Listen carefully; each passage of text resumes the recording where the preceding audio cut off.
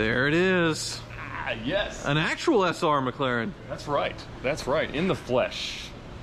Uh, flesh is one word to use with this car, I guess, huh? They got the seat covered. They do, yes. That's yes. probably by your request. So you've already got the full estimate on this thing. Yes. Hmm. And so I sent it here for an A service, which is more than an A service on a CL or something like that. It was Right. just over two grand. Ah, And then they sent me an estimate for all the things. all the things. With tax, thirty-four five sixty-five. Thirty-four thousand dollars. And that and the rotors would be another twenty thousand dollars Oh, if you had to do that, but you don't. Oh my.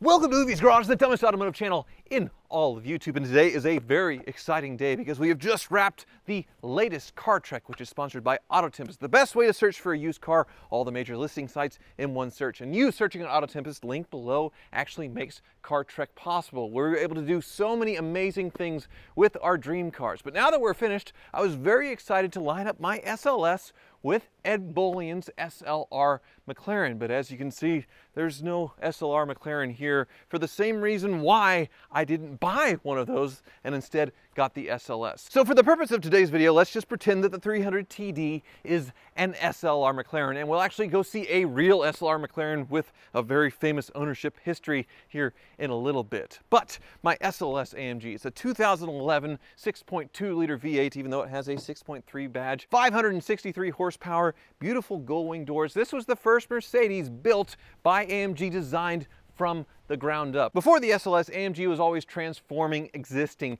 vehicles. Back when they were an independent tuning company or after when they were acquired by Mercedes, this was the very first car that AMG got to design on their own, engineer from the ground up, and it is incredibly special. The SLR McLaren, on the other hand, well, it was designed in partnership with McLaren, the legendary racing brand that had just come off of making the F1. And the McLaren SLR was built in England, had a 5.4 liter supercharged V8 putting out 617 horsepower with a normal automatic gearbox. Crazy cool dihedral folding doors, just an incredible, amazing piece of engineering, but it's also a big piece of, well, you know. Now, back when I bought this SLS a year ago, I was agonizing over whether I should get this or an SLR McLaren, and I consulted my friends Freddie Tavarish Hernandez and Ed Bolian on which one. And I was actually discouraged from buying the SLR McLaren because of, well, several reasons. Number one, the maintenance costs are ridiculously high.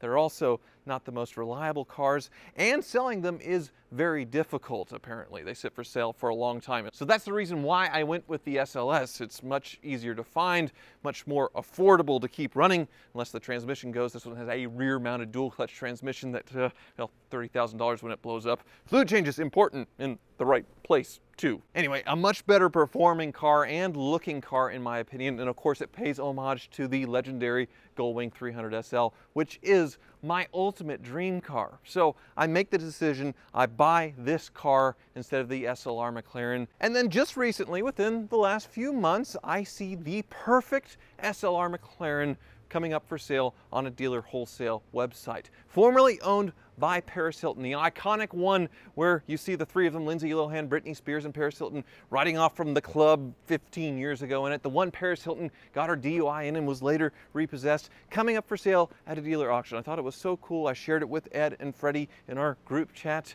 And the next day I was watching the auction planning to make this video talking about that car and why I didn't buy it and favored the SLS and I look at the bidding and I see Switch Cars bidding, which is uh, Doug. That is a guy who is friends with Ed that has appeared in numerous VinWiki videos, and I see he wins the SLR McLaren for $180,000, and I'm very, very surprised. So I message Ed, what's up with this? And well, he bought it. The night before, I'd sent him this link, and the next day, he'd impulsively bought Paris Hilton's SLR McLaren. I was very jealous, also very excited for him, but I knew then I would get the opportunity to review both cars side by side like I wanted to do right now. But then the unthinkable happened. The SLR is not available, and Ed, well, come here.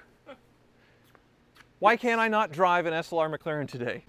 because an A service turned into a bit more. Oh. So I guess instead of reviewing the SLR McLaren side by side uh, with the SLS, uh, we can just head to the Mercedes dealer, see it up on the lift, uh, do and everything's wrong, I suppose? I suppose that's much more your brand than mine. So yes, by all means, we can go and see how it is. I, I drove one 15 years ago. So it's been that long. I sat in Jay Leno's, but I, it's been a long time. I really wanted to experience it, but I, I guess I'll I'll take what I can get. Maybe I'll bring it to Kansas one day. That sounds good. Well, shall we? Let's do it.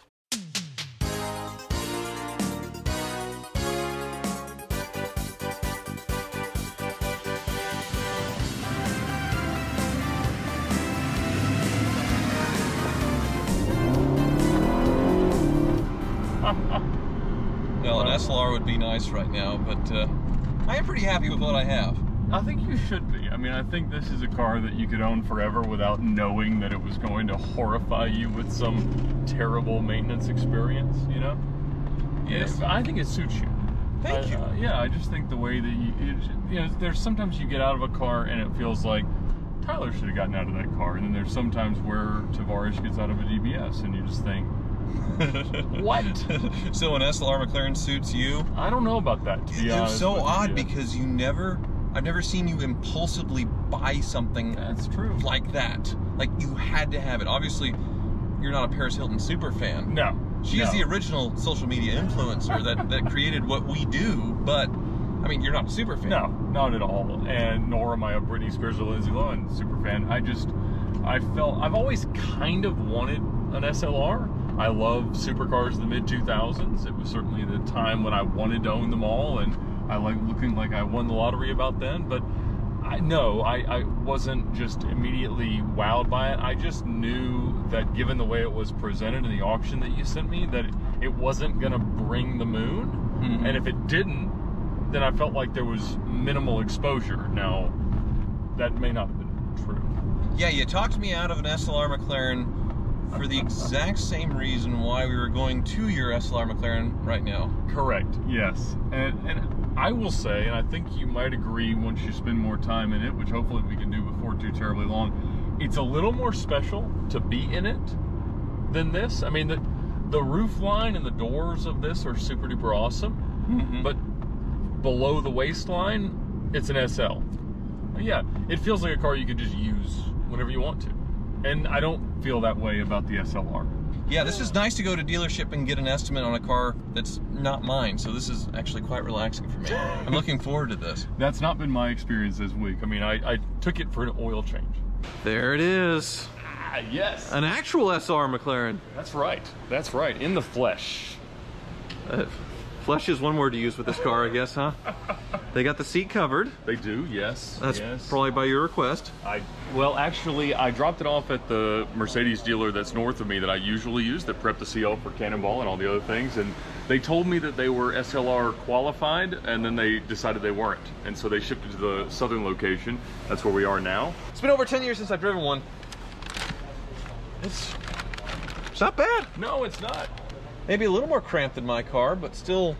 It is, usable. yeah. And the one-piece seats are a little bit of a compromise, but I I fitted it pretty well. No, they came in obviously sizes. The seats these are mediums, ordered new by Paris Hilton. Very nice. Yes. The same critique on my SLS is the same here with the generic uh, radio and climate controls, the shifter, Yep. of course the slush box. What do you think of the slush box? Well, I like it because with all aging supercars, the biggest fear in general is catastrophic transmission failure. Mm-hmm. And so one of the things about this car is you don't have to worry about that. They're everywhere and they don't break. Yeah, push button start there. Exactly. Exactly. Gauges. I think you're right. I think it just does feel a little more special than an SLS. But Just- it comes with some drawbacks. I suppose, yes. That's why it's here. Exactly. Let's look under the hood. All right, bye. Famous seat where things happened. Lindsay Lohan, Britney Spears, Paris Hilton in this car. Just amazing. The doors, they're not gull wings, but they are very, very cool. It's very clear throughout the car that McLaren had certain things they cared about doing and a lot of things they didn't care mm-hmm. about doing. Obviously, the engine, a lot of the electronics, the infotainment, all they don't care. They wanted to build a tub, they wanted to build a chassis, they wanted to build a car, and do some of the design work while keeping it obviously within the Mercedes language. I kind of like the SLS. The engine, Yo, yeah. way behind the front wheels, is basically mid-engine. But this this nose, my nose is long. This is this is very very long, and the hood, the hood hinges look a little wonky. They do, and they're currently very, very weak. So one thing it's here for is strut replacement. Ah. And the other problem is due to the way that it opens, uh, somebody must have slammed it down at some point when it's changed hands in the 2,000 miles it's accumulated over the last 10 years. They broke it over here. There's tracks crazy. that these casters land in. Mm-hmm. So you open it forward a little bit and then you pull it out and you lift from here. So this has been fabricated by the Ah. nice man to save me $3,500. Oh, so you've already got the full estimate on this thing? Yes. Hmm. And so I sent it here for an A service, which is more than an A service on a CL or something like that. It was Right. just over two grand. Ah, And then they sent me an estimate for all the things. all the things. I'm looking forward to seeing a list of this because it'll it'll reassure me of what I did because you told me not to buy one of these and then you go and buy it and I get frustrated with you. But Well, you can't not buy this one. I, I, you're right. You're right. So, you get, did they text it to you? Is it on a Yes. piece of paper? What's the Yeah, they damage? sent it. These turbine wheels are so cool too, and the gills. And the early ceramic brakes. I mean, it's such an artifact of the mid 2000s, not just because of the pop culture Right. influence, but I mean, it just is everything done its own way. And there's not anything else like it. I mean, you could say a speedtail, one of these, uh, there, there's a new Mm-hmm. word for it. I don't know what it is. It's something like Grand Touring Hypercar thing. Yeah. I don't know what it really All right, back down there. Yes. Okay. All right, so run the, it down. The A service was 2105. they want to put a power steering pump on it because they didn't really, they haven't seen one in a long time, but it does steer in a peculiar way. They all do, but they think this one's extra weird.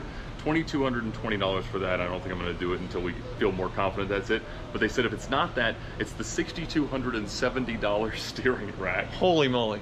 Wipers, fairly reasonable, $105. They want to do That's that. about right. Yeah. Approved. Uh huh. Uh, they said this wheel's bent.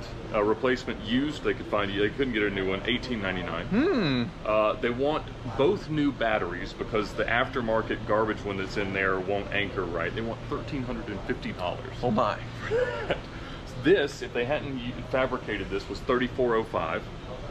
They Hmm. want to replace the weather stripping. It's at my house. It fell out. It was it so that Right. that I'm not going to do. But it was thirteen hundred and fifty dollars. Okay. So when you open the passenger door, it stops here rather than going all the way up to there. So a strut? This str- how much do you think this strut costs? Uh, thousand bucks. Twenty five hundred. Twenty five hundred dollars? Yes. The there were some mounts for the brake lines that they insisted I do. Okay. Thirteen hundred and fifty dollars. Holy crap. For the mounts. Okay. Uh, they said that it's not safe. Were they missing or just? Yeah, they had deteriorated and cracked some. I don't, I, I don't know. Ah. Um, yeah. Uh, one of the washer nozzles is in about five hundred dollars. Mm. Missing TPMS sensors all around seventeen hundred dollars. Not a universal there. Oh, this, the fuel cap tether is broken. $100, oh. $100 for that. Oh dear. The tire fit container is missing. I don't even know what that is. I, I guess that's the, like the fix a flat. I don't know what, I, but they wanted mm. $215 for that. Lovely. They said the brake caliper cooling ducts are deteriorated, $1,250. Okay. They said the rear diff is seeping, but they think it's just the seal around the drain plug, so they want to replace the drain plug and service it for eight hundred fifty bucks. I told them they could do that. Holy crap. And then there's Okay. a lot of things that are like by time. So Mhm. one of the things the F1 was known for is that everything times out. So the Yes. fuel bladders and all the things. Yes. And so they still have some of that. And so just based on time, they wanted new drive belts, cooling system flushed to replace the wheel bolts, which are holding the wheels on. Right. Uh, flush the brakes. I want a new key battery, oil, engine air filters. Even though But the brakes are weird on this car, and that's one of the big drawbacks where you kind of talked me out of it. Was the brake feel being weird? The electronic brakes that was a plague for Mercedes of this era. So, uh, This is the best feeling braking SLR that I've driven. I've probably driven five or six of them, but it is weird. So it's bottom hinge from the floor, and you have to, the engine makes so much torque at idle that you really have to hold the brake down to stop it from bumping into stuff. And so the the handling feels strange, the brakes feel Mm-hmm. I strange, remember. and the visibility and the dimensions. I wish I could drive it to where I could talk about this, I but I can't. So, Yeah, I- how much is a brake flush? The brake flush, twelve fifty. Twelve hundred dollars for a brake flush. And I mean, Okay. They're Gen One ceramic brakes, kind of Right. like you know 996 C- PCCBs. Right. But uh, that still seems a bit excessive. I, I'm Yeah. confident in my fluid. The rotors are quite expensive too, but they didn't recommend. They that. did not recommend that. They, Yes. I think it's 20 some odd grand Yeah. for that. Insane. Ins- I- I 20 know grand. That was the other scary track. thing, yes. With tax, 34,565. Thirty-four thousand dollars. And that and the rotors would be another twenty thousand dollars if you had to do that, but you don't. Oh my. But I mean, they'll probably last. I mean, it's got 21, 22,000 miles on it. They'll probably last another 30,000 miles. The rotors. Now the pads are still expensive, but that's probably only three grand. Thirty thousand dollars. So that's more than what you made selling me that Murcielago. You've now That is. lost it on this Paris Hilton McLaren that I found for you. You're Ed, so you're not fixing all those things, I'm sure. No. You're just driving it. Yeah, exactly. I mean, most of those aren't drivability concerns. The ones that are safety related, obviously, I'll do. But uh, at the end of the day, it's it's a car. It drives. It does everything you want. I like the color combination a lot. I got to experience one for a day, but it was a long time ago before I had driven really much of anything exotic. So I wanted another experience. I had ridden in Jay Leno's when I was on his show at the Cameo, so I've been in Jay Leno's. So the, probably the two most famous McLaren SLRs I've now I've now sat in. This one and well, Leno's, but this one obviously the most famous one. And you bought the sunshade, right? I did. Well, next time I come back, We're driving it. I'm driving it, but here it is, the SLR McLaren Paris Hilton's. Uh, don't buy one. I'm I'm very happy with my decision that you talked me into the SLS because Me I'm too. enjoying that car so much. There's no anxiety driving that car, unlike unlike this. This is a totally different world. So, thank you for watching.